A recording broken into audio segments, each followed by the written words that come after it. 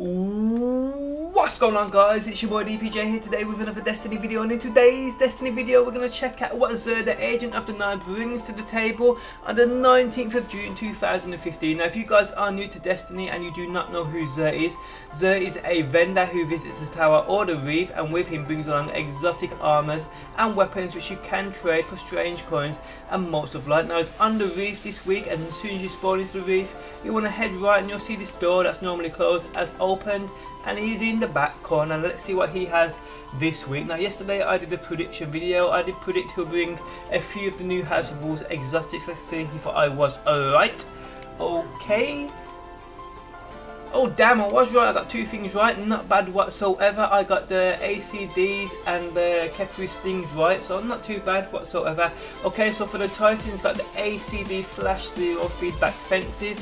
These will cost you 13 strange coins. These ones offer 66 intellect and 46 strength. Mods are taking damage from a melee attack, deals damage in an area around you, and more super energy from melee kills uh, increased melee speed also. Okay, for the hunter we've got the Khepri Sting. These also costing 13 strange coins. These offering 96 uh, strength, sorry. Again, invisibility after crouching in place for a short time.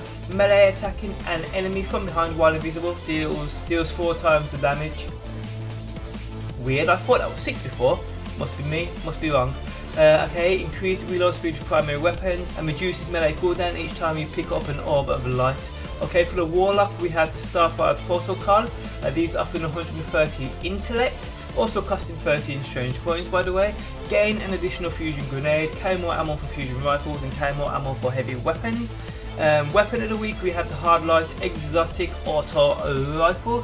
Not a great weapon to be honest now that they uh, nerfed auto rifles but still if you are a collector of exotics this is definitely one for the collection.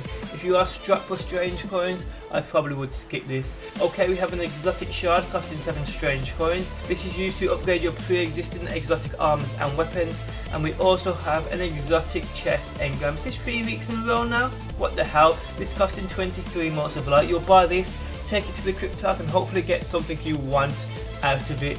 But guys, that is it. That's what Xur has brought on the 19th of June 2015. Hasn't got much here I want. Um, me personally, I need the uh, Grind Grease for the Titan. I need the uh, Bones of Eao for the Hunter. And I need the uh, Purified Robes for the Warlock. So for me, it's just another shit week. But what do you guys think? Is it that anything you guys want? Let me know down below. Thanks for stopping by as always. Hope you enjoyed the video. Do drop a like. I do appreciate the support. And peace out until next time. Peace!